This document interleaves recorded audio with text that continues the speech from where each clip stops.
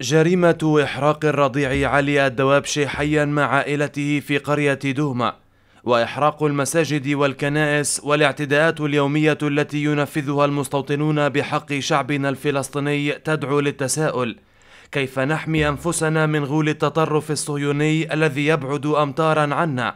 وماذا على السلطة الفلسطينية وأجهزتها الأمنية من واجبات التي لطالما وعدت المواطن بالأمن والأمان؟ على سلطة تحمي مواطنيها. هذا هدفها الأول هذا وظيفتها الأولى هذا دورها الأول. إذا لم تستطع أن تقوم بهذا الدور فالأمور مفتوحة.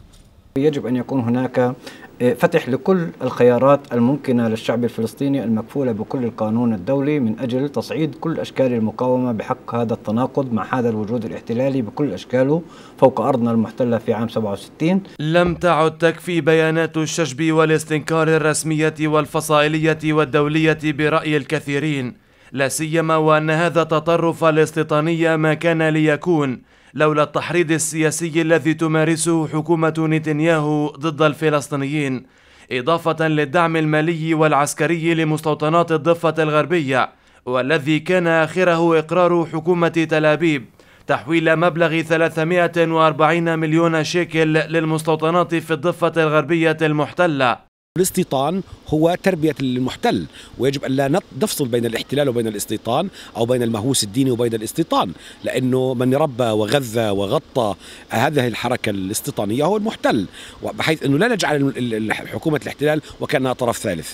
بالتالي حقيقة مواجهة الاستيطان والمستوطنين واعتداءاتهم مسألة تحتاج إلى خطة عمل كاملة خطة يتضافر فيها جهود كثيرة فئات كثيرة آه، كفاءات كثيرة وجهات كثيرة أيضا. ولا يكفي الحديث عن التوجه لمحكمة الجنايات الدولية برأي الكثير من المراقبين لردع حكومة نتنياهو ومستوطنيها.